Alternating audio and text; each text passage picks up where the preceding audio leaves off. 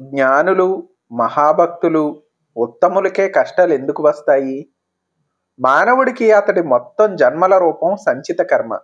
అందులో ఒక జన్మకి కేటాయించిన కర్మ ప్రారంధ కర్మ. మనకు సందేహం వస్తుంది. మనకి ఇంకా ఎన్ని జన్మలున్నాయి అని. గతంలోని కర్మల కారణంగా ఆ కర్మలన్నీ తీరిపోవడానికి మరొక వంద జన్మలు అవసరం అవుతాయని అనుకుందాం. అతడి కర్మలను బట్టి ఈ రాబోయే జన్మల సంఖ్య ఒక్కో మానవుడికి ఒక్కో విధంగా ఉంటుంది. రాబోయే జన్మల సంఖ్య లెక్క ఇప్పటి వరకు నిర్ధారించబడింది. అంటే ఇప్పటి వరకు ఉన్న రుణాలు కొన్ని నిర్ధారితం జన్మల్లో తీరుతాయి అని అర్థం. అంటే అది బ్యాంక్ లోన్ ఇన్స్టాల్మెంట్ భాషలో ఇన్ని ఈఎంఐలు ఉన్నాయి అని అర్థం.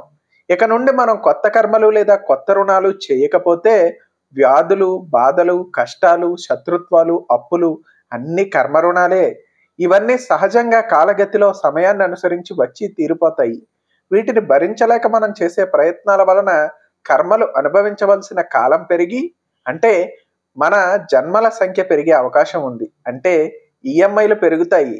భగవంతుణ్ణి కానీ మరో దేవతల్ని కానీ ప్రత్యేకించి ప్రార్థించి కొన్ని వ్యాధులు కొన్ని కర్మల్ని సమయం కన్నా ముందే పోగొట్టుకోవాలనే తీవ్ర ప్రయత్నం వలన ఆ కర్మలు ప్రస్తుత జన్మలో అదృశ్యమయ్యి తిరిగి వచ్చే జన్మలో నిర్ధారత సమయం వరకు వేధిస్తాయి.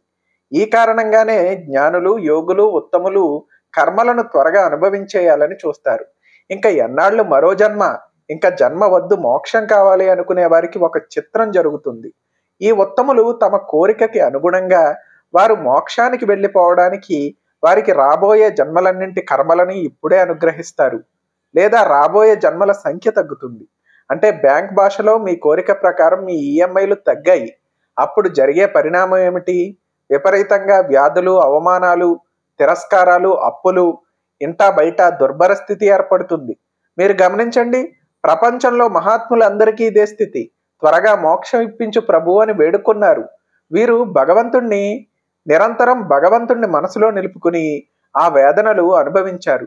సక్కుబాయి తుకారాం మీరా యేసుక్రీస్తు ఎవరైనా ఇలాగే కర్మలు త్వరగా అనుభవించారు. ఈ కష్టాలు బాధలు అనుభవించడం ద్వారా మా వల్ల కాదు అని మీరు అన్నారో మీ జన్మల ఈఎంఐలు పెరిగిపోతాయి. మహాత్ములు భక్తులు యోగులు ఎక్కువగా కష్టాలు పడటానికి కారణం ఇదే.